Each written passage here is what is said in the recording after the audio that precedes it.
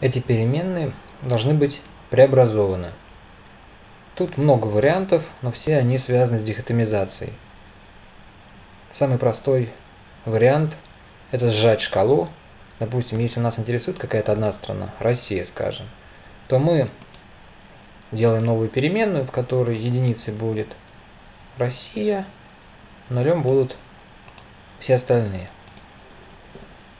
На другом полюсе по трудоемкости, но э, на другом полюсе трудоемком э, наименьшая потеря информации находится полная дихотомизация, создание полного набора дихотомических или их еще называют фиктивных переменных. То есть каждая страна получит свою переменную. Единица Албания, 0 не Албания. Единица Бельгия, 0 не Бельгия и так далее. Вот выше такие дихотомические перемены у меня уже есть в массиве. Как их создавать? Вот такие полные наборы. Я подготовил в Excel и разместил на странице соответствующего метода дихотомизатор. Он выглядит следующим образом. Две частотные таблички про одну и ту же переменную, в данном случае переменная happy. Здесь я сделал для 31 а, градации.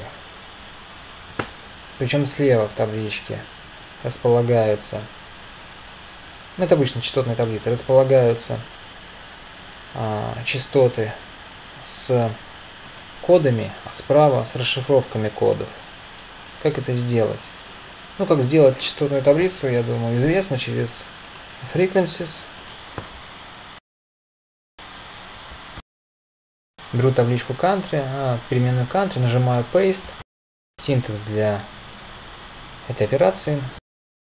Но тогда я получу расшифровки кодов, а мне еще нужны сами коды. Для этого я сюда ввожу еще одну команду. Вот она. Она у меня есть в excel файле, который тоже на странице располагаю. Values предполагает, что будут именно коды. Если я хочу потом вернуть э, расшифровки кодов, я заменяю на labels. Вот если я так запущу, у меня сначала будет таблица с расшифровками, и потом таблица с самими кодами. Вставляю таблички в Excel, главное аккуратно вставить.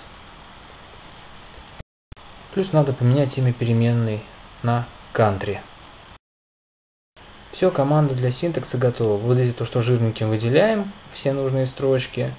И вот пониже то, что execute, и то, что опять же относится к делу. Выделяем без total